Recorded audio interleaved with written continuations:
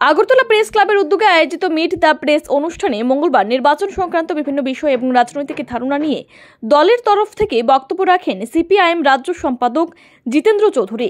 অনুষ্ঠানে রাজ্যের বরিষ্ঠ সাংবাদিকরাও উপস্থিত ছিলেন।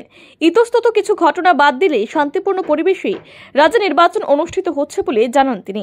এ বিষয়ে নির্বাচন কমিশনের উদ্যোগের প্রশংসা করেছেন সিপিআইএম রাজ্য সম্পাদক। খুবই মানে মানে গুরুত্বপূর্ণ রেখেছেন। এবং এটা আপনার নয় শুধু, আমাদের রাজ্যের বিদগ্ধ জনগণের অনেকেরও প্রশ্ন, একটা pension Election Commission of India তাদেরকে কোনো রাজনৈতিক দল বা কোনো এরকম সিভিল সোসাইটির কাছ থেকে তরফ থেকে ডিমান্ড করতে হয়নি প্রেশার দিতে হয়নি but from their own ECI বা তার প্রতিনিধি chief electoral officer zero poll violence mission ঘোষণা করেছেন। এবং এই ঘোষণার ফলে রাজ্যের জনগণ আশ্বস্ত হয়েছেন।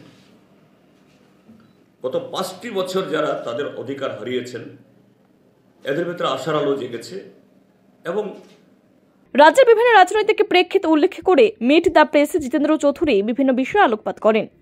ভুল স্বীকার করাটা কোনো মানে লজ্জারও কিছু না, একটা দোষেরও কিছু না।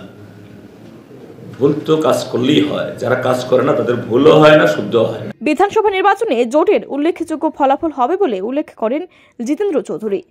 Bureau report R E news.